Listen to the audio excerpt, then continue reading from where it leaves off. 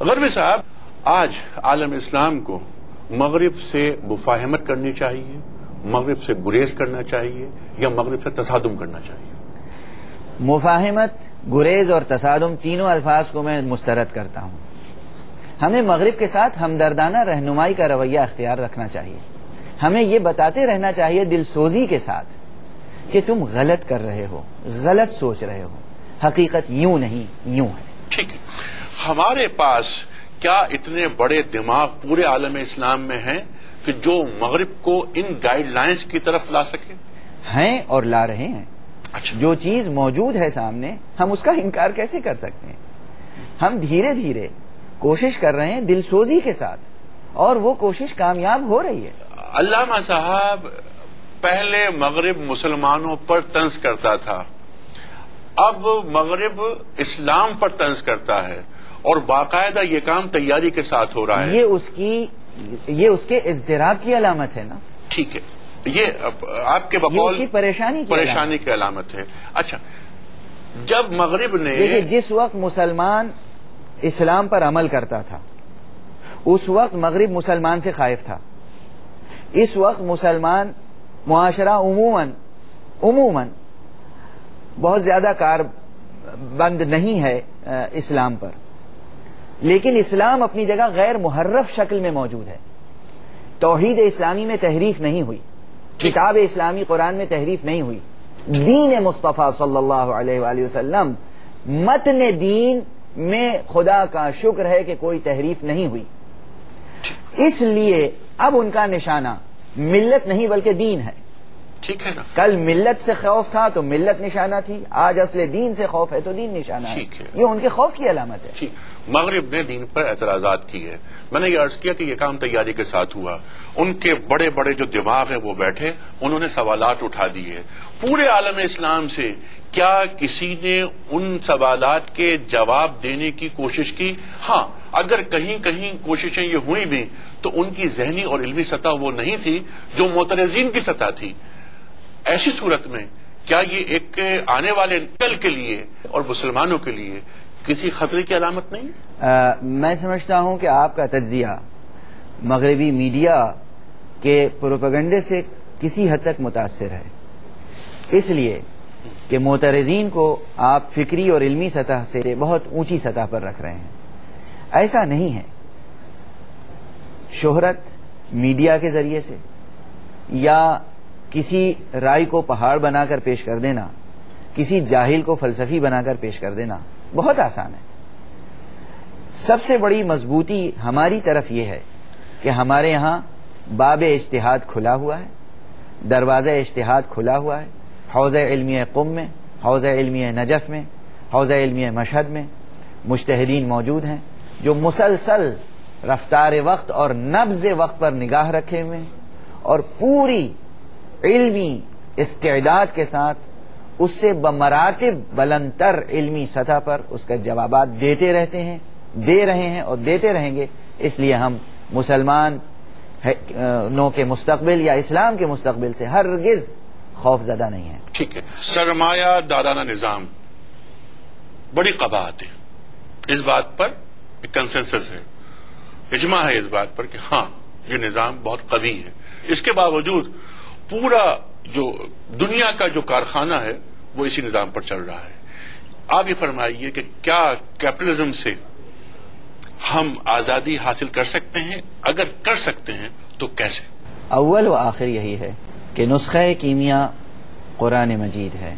नुस्खा कीमिया सीरत अमल पैगंबर इस्लाम पैगंबर अमन रहमत मोहम्मद अरबी सल्लल्लाहु अलैहि वसल्लम कैपिटलिज्म इस वक्त यकीनन इंसानियत का सबसे बड़ा मसला है। और जितने मसाइल हमें दरपेश हैं, वो उस बेमिहार कैपिटलिज्म के पैदा करदा मसाइल हैं, जिसे हम ग्लोबल कैपिटलिज्म या सो कॉल्ड वेस्टर्न कैपिटलिज्म कहते हैं।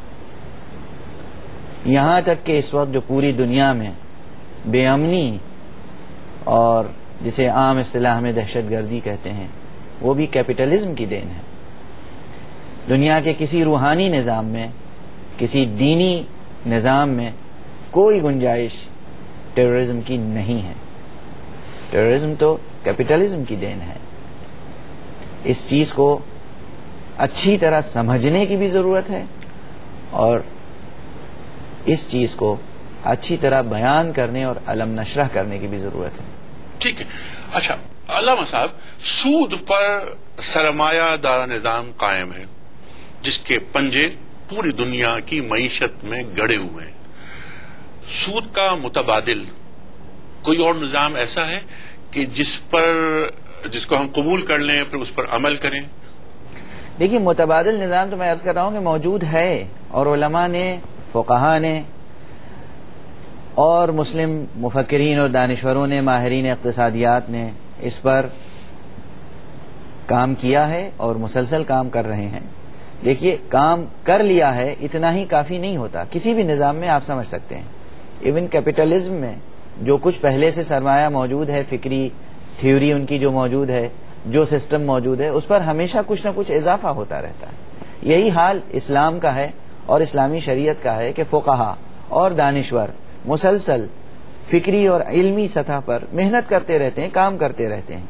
नफाज में अमली दुश्वारियाँ हैं। अमली दुश्वारियाँ निफाज में हैं। लेकिन, इम्कान रोशन इसलिए है कि हमारे पास मुकम्मल नज़रिया और निज़ाम मौजूद है। इस्लाम ने दोहरी मिल्कियत का तस्वुर पेश किया है। इस्लाम का नज़रिया इकतसाद। उसकी असास इस पर है कि इस्लाम ने दोहरी मिल्कियत का नज़रिया पेश किया। इस पूरी कायनात का, इसके जर्रे जर्रे का बशमूल इंसान के रूह जिस्म के मालिक हकीकी खुदावंद आलम है। और उसके बाद हमारी मिल्कियत में जो चीज़ें आती हैं, वो मिल्कियत एतबारी के तहत आती हैं। शरीयत ने, दीन ने किसी चीज़ का मालिक हमें मुकर्रा कवानीन और मुकर्रा शराय के तहत करार दिया है और हम उसके मालिक हैं। और जब तक के लिए करार दिया है, उस वक्त तक के मालिक हैं। वरना वो चीज़ हमारी मिल्कियत से निकलकर हमारे वरसा की मिल्कियत में चली जाती है, या दूसरों की मिल्कियत में चली जाती है मुकर्रा उसूल और कवानीन के तहत। ये दोहरी मिल्कियत का तस्वर है।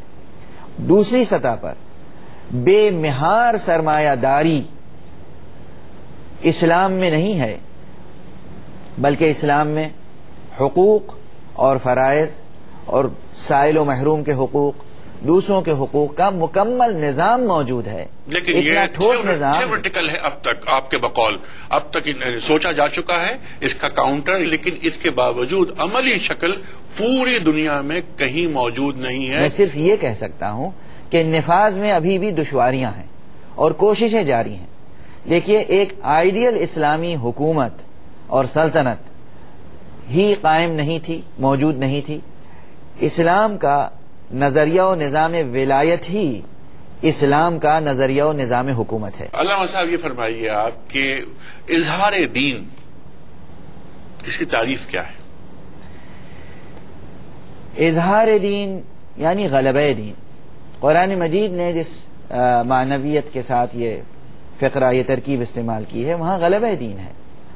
और मैंने अर्ज़ किया था गुजशत गुफ्तु में कि इस कायनात की असास उसूल इरतका पर है। इस्लाम नजरियाती एतबार से और अमली एतबार से सबसे ज़्यादा तरक्की याफ्ता निज़ाम फ़िक्र अमल है। और उस निज़ाम फ़िक्र अमल तक हमें पहुँचने के लिए, खुद मुस्लिम उम्मा को पहुँचने के लिए एक रियाजत से गुजरना पड़ेगा और उस रियाजत से हम गुजर रहे हैं। और पूरी दुनिया को उस रियाजत से गुजरना है। निज़ाम जबर रब अकबर ने कायम नहीं किया है कि वो सबको एक दीन का पाबंद अपनी कुदरत से बना कर दे। वो चाहे तो सबको एक दीन का पाबंद कर सकता है। लेकिन वो जहाँ कादिर कदीर है, जहाँ कहार है, वहीं वो रब है, रब रहीम, रब करीम।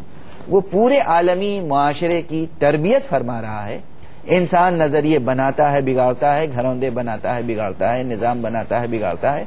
और ये एक रियाजत है उस मंजिल की तरफ़ जहाँ पूरा आलमी माशरा और इंसानी माशरा एक दिन नजरियाती और अमली सतह पर उसी दीन को कबूल करेगा जो दीन इस्लाम है, जो दीन कुरान है, जो दीन मोहम्मद अरबी और दीन रहमत आफियत है।